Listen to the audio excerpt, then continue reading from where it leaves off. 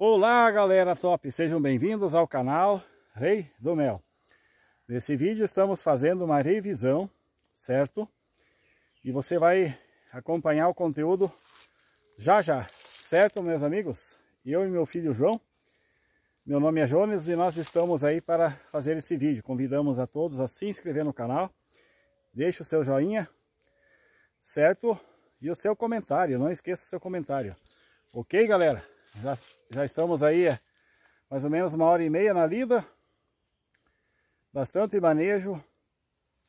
Alguns enxames muito fracos, galera. Não vão produzir mel esse ano. É, infelizmente saíram nesse clima do inverno aí bastante defasados enxame. Ok, galera? Mas agora a gente vai ver aí se não foi danificada a rainha nesse vídeo. Ok, galerinha? Então vamos para o conteúdo. Muito bem. Então essa é a colônia, né? Que ganhou caixa nova, certo? Ó, formiga. Aqui nessa piada eu não tive problema com formiga ainda esse ano. Então o nosso amigo Ivan, ao postar esse vídeo aí, falou que eu não era apicultor, né? Não sei o que, que desagradou meu amigo lá, mas dá uma filmadinha de lado aí, João. Ó meu amigo Ivan, especialmente para você o comecinho do vídeo, né, cuidar antes de falar uma coisa nos comentários aí, né?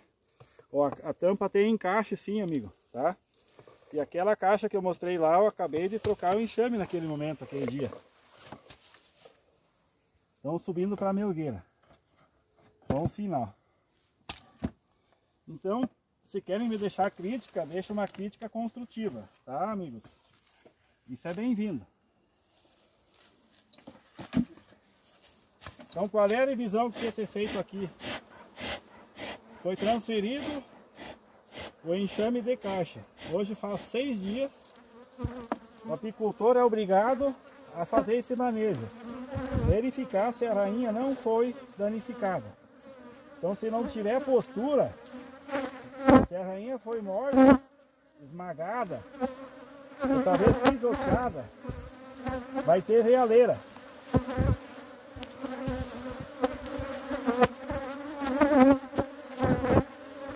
Postura fechada, é normal, vai ter seis dias. Não tem a presença de reialeira. Não preciso achar larvas, ovo.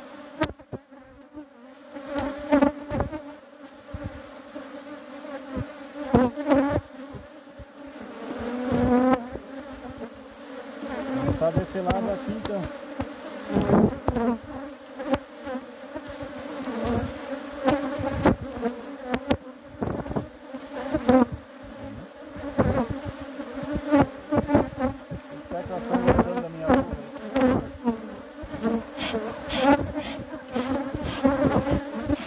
Não está bem definido, tá galera? Porque não tem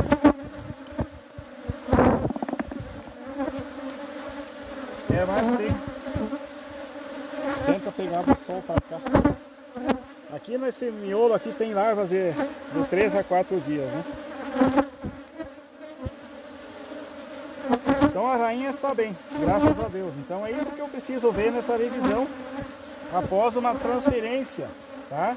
Ou após captura.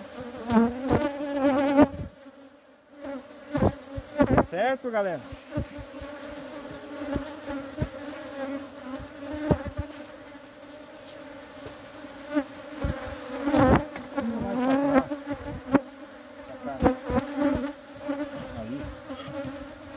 Então,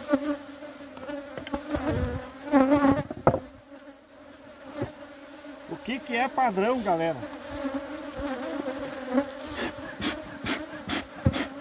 Primeiro lugar padrão é que eu tiro dessa caixa e boto lá um caixinho que vai servir.